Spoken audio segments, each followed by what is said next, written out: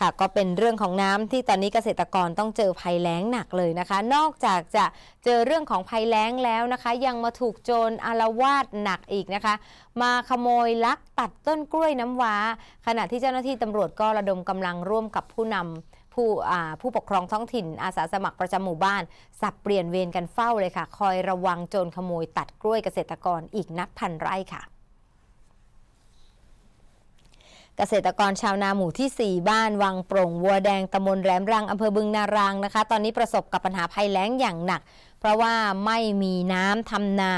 เนื่องจากอยู่นอกเขตพื้นที่ชลประทานค่ะ ก็จะทำนายังไงก็ต้องอาศัยน้ำเพียงอย่างเดียว จากนั้นเกษตรกรส่วนใหญ่จำนวนกว่า 100 รายก็ได้พลิก ผืนนามาทำการปลูกกล้วยน้ำว้านะคะ เพื่อเอาไว้ขายทั้งเครือกล้วยใบตองและปรีกล้วย เพื่อเป็นรายได้ทดแทนนะคะ หลังจากว่าไม่ได้ทำนาแล้วนะคะ อีกทั้งยังเป็นพืชเศรษฐกิจชนิดเดียวค่ะ ที่ภายในหมู่บ้านนั้นเหลืออยู่ เพราะพืชอื่นๆ นั้นเจอภัยแล้ง แล้วก็เหี่ยวเฉาตายไปเกือบหมด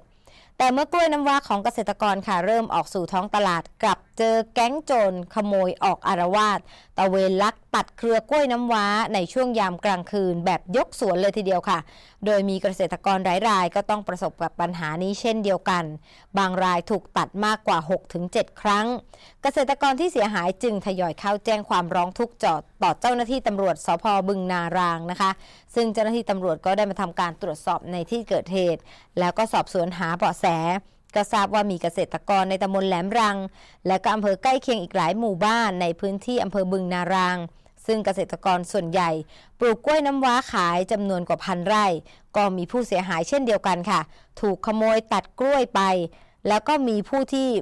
เสียหายเนี่ยนะคะมาร้องทุกข์กันเป็นจำนวนมาก จึงได้นำกำลังร่วมกับกำนันผู้ใหญ่บ้านอาสาสมัครประจำหมู่บ้าน พร้อมด้วยเกษตรกรผู้ปลูกกล้วยจำนวนกว่า 100 รายค่ะมาร่วมกันนะคะ หาวิธีค่ะ ในการเฝ้าระวังป้องกันทรัพย์สิน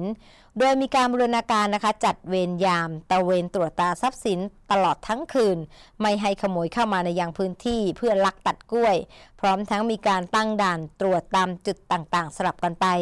สำหรับโจรลักตัดกล้วยในครั้งนี้นะคะ ก็จะใช้ยานพาหนะเป็นรถยนต์กระบะและก็จะเลือกขโมยตัดกล้วยในยามกลางคืน และจะเลือกตัดกล้วยเครือแบบแก่ๆ เป็นบางส่วนนะคะ นอกจากเครือกล้วยแล้วก็ยังลักตัดหัวปรีด้วย รวมไปถึงใบตองค่ะ ที่บางทีตัดไปเยอะมากทีเดียวเสียหายยกสวนกันเลยทีเดียวค่ะ